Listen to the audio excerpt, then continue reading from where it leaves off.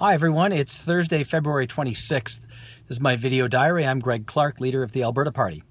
I spent my morning at the Vibrant Communities Calgary Enough for All uh, Poverty Reduction uh, consultation. It was a really powerful session. Uh, I learned an awful lot. Um, this is an area that I think is really important for our province to uh, to tackle. As you might know, Alberta has one of the highest levels of poverty and inequality in income uh, in the entire country. So groups like Vibrant Communities Calgary, uh, there's the Edmonton Social Planning Council as well, has done a lot of great work. And all around the province, there's a recognition increasingly that we need to address this issue.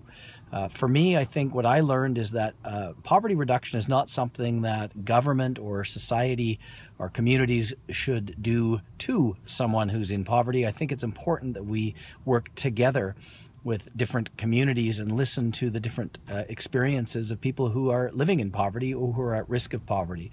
I think nowhere is that more true than with Aboriginal populations. I think it's important that we look at our own cultural uh, biases. We recognize what has uh, the lived experience of people in Aboriginal communities. We work, focus on healing, uh, we recognize what has happened in the past uh, and that we look beyond just economic outcomes uh, in terms of engaging people in Aboriginal and First Nations communities uh, as a way of starting to address poverty in, uh, in all communities, uh, and housing and homelessness, of course, being a big part of that.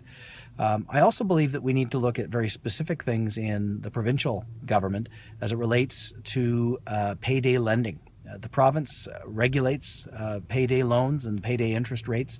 As I understand it, Alberta has one of the highest payday loan interest rates in Canada. That seems to me to be a great opportunity, or in fact, I think an obligation on part of the province to, to deal with that. Uh, there's much more work to be done on this.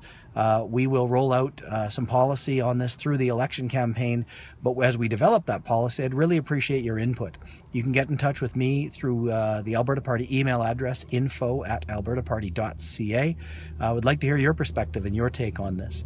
This is Greg Clark, leader of the Alberta Party, with my video diary for Thursday, February 26th, 2015.